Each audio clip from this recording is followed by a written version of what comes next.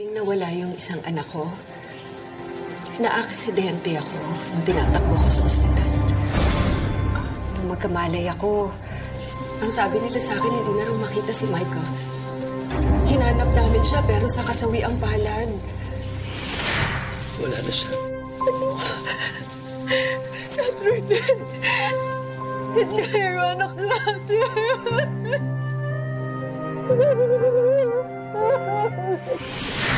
Sana alam ni Michael na ginawa namin ng lahat para mahanap namin siya. Araw-gabi, nangungulila pa rin ako sa kanya. Higing mahal na mahal ko siya. Ma'am, Melissa, sigurado po ako, nasan man siya, damang-dama niya ang pagmamahal niyo sa kanya. At mahal na mahal ka din niya. Hindi man kayo pinalad na magkasama na matagal, pero sa tingin ko po, matutuwa siya kung kalilimutan mo na ang pait ng trahedyang yan. At magpapatuloy na mabuhay ng masaya. Alang-ala sa naiwan niyang alaala. Iking salamat. Maraming maraming salamat sa iyo. For some weird reason, napapagaan mo ang kalooban ko. Iking ha, pupunta ka sa birthday ni Mateo at saka ni Michael. Sige po, sige po. Kailan nga pala ang birthday mo? Magkasunod lang po kami ni Mateo. Pagkatapos ng birthday niya, birthday ko kinabukasan. Eh, kaya pala magkaibigan kayo. Ano ba ang gusto mong regalo? Regalo po? Ay, naku po, ah, wag na po. Iking, huwag mo sanang mamasamain ito, ha? May kilala akong eye surgeon. Baka makatulong sa'yo para makakita ka ng malinaw. Meron din akong kilala na cosmetic surgeon, Iking. Pwede niyang gawing normal ang mga kamay mo. Akong bahala sa gastos. Ma'am Melissa, maraming salamat po, pero tanggap ko na po yung itsura ko at yung kapansanan ko. Pero mas makakabuti sa'yo kung maaayos yan.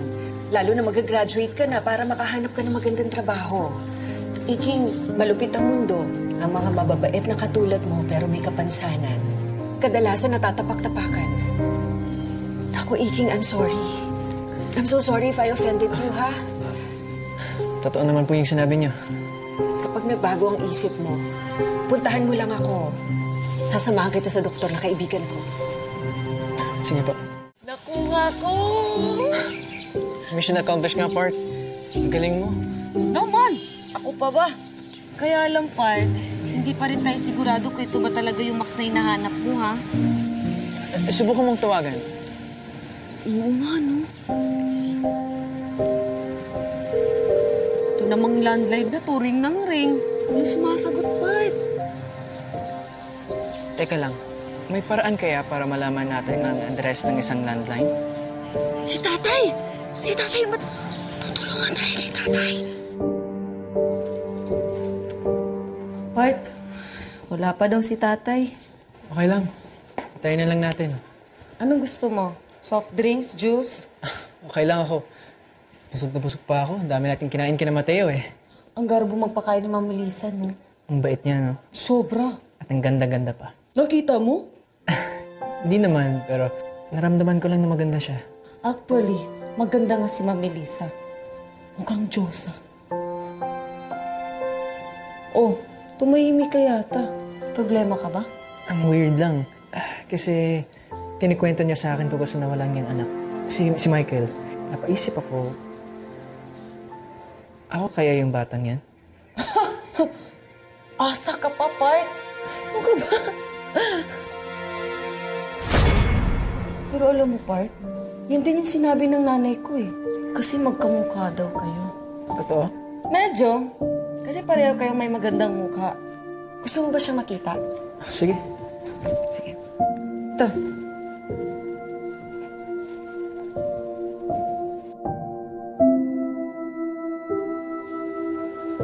Maganda siya. Di ba? Pero part, Mm. mas maganda ka. Saan? Sa ugali. Sa puso, sa talino. Ikaw talaga. Ano akong binubolo? Pero imposibleng siya ang ina ko. Kasi si Nanay Oriang ang tunay kong ina. Magkamukha rin kayo ni Nanay Oryang.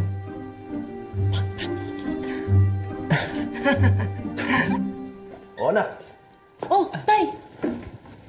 May kailangan ba kayo? Pwede niyo po ba kaming tulungan mahanap ang address ng landline na to?